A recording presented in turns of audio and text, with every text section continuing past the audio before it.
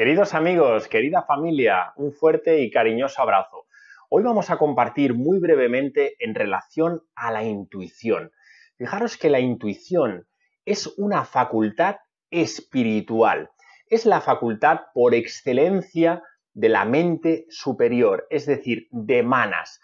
Y por tanto, como muy bien sabes ya, forma parte y está integrado dentro del cuerpo causal es decir, donde mora, por supuesto, nuestra alma individual. No sé si te acuerdas que el gran Krishnamurti ya decía que la intuición era el susurro del alma. Del mismo modo, incluso Platón, a través de ese concepto de la noesis, nos hablaba de que la intuición era una facultad propia del alma.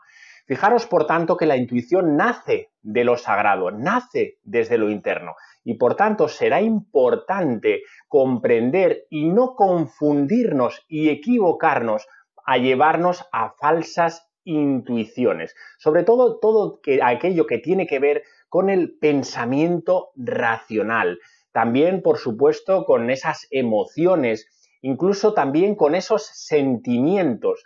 Eh, pueden a veces eh, distorsionarnos ciertos deseos, eh, ciertas elecciones o a veces simplemente esperando un anhelo que pensemos que o pensamos, mejor dicho, que pueda acontecer.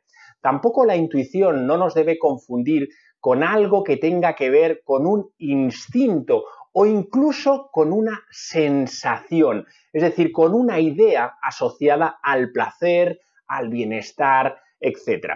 Y finalmente, tampoco, por supuesto, no debemos dejarnos engañar por una falsa intuición atendiendo a una creencia más que tengamos propia de nuestro inconsciente o a una superstición o incluso también a una adivinanza o a una proyección.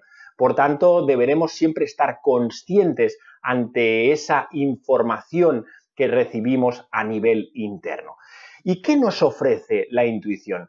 Fijaros, la intuición nos aporta lucidez, es decir, la luz de la conciencia, en definitiva, ver las cosas como son, de forma nítida, sin filtros, sin el uso de la razón. Por eso nos decían los sabios y sabias que la intuición siempre va acompañada de la sabiduría y del discernimiento, dos facultades, por supuesto, divinas, búdicas, que junto con la intuición nos evocan eh, todo lo que realmente percibimos en ese momento. Y ahora la pregunta sería, ¿y cómo podemos reconocer la intuición? Si ya sabemos que es algo que tiene que ver con nuestro ser, con una cualidad propia que forma parte de nuestras manas, de nuestra mente superior y por tanto no de nuestro yo físico, mental y emocional, ¿cómo la podemos reconocer?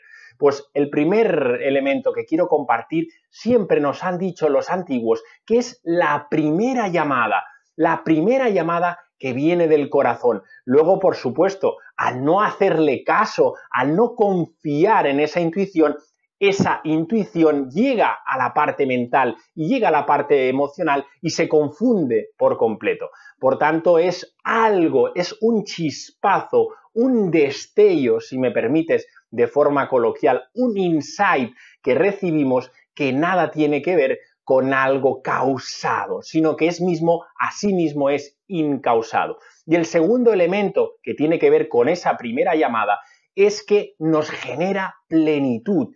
Es decir, no puede haber en esa intuición ningún atisbo de miedo, de expectativa o tampoco de deseo. Por tanto, es un chispazo, un vislumbre que nos genera mucha, mucha certidumbre. Y ahora el elemento final sería preguntarnos cómo podemos cultivar la atención en nuestro día a día.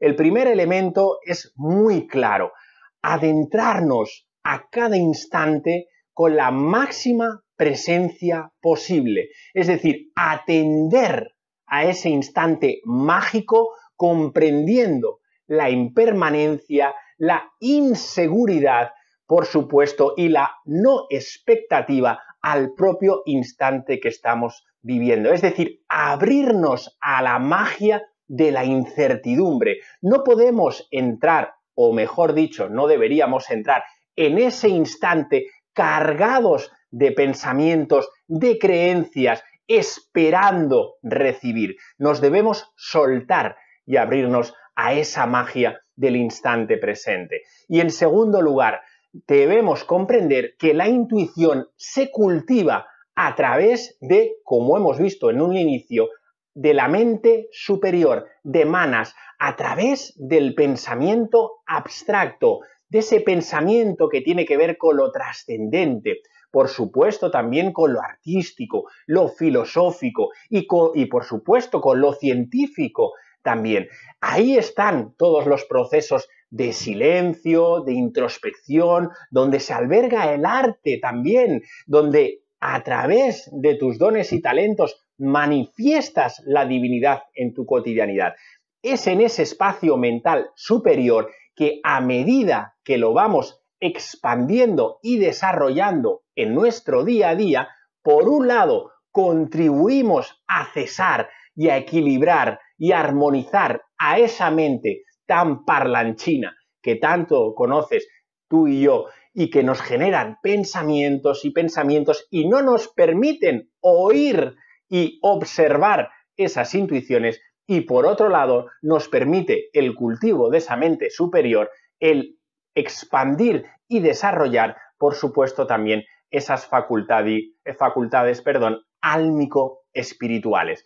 No quisiera, eh, sin antes acabar, acordándonos de una gran frase del gran Albert Einstein, no solo científico, sino un ser humano de una profunda talla espiritual. Él decía, la única cosa que realmente es valiosa es la intuición. Queridos amigos, deseo de corazón que en tu día a día la intuición pueda estar muy presente y sea tu brújula interna. Feliz viaje y feliz recuerdo.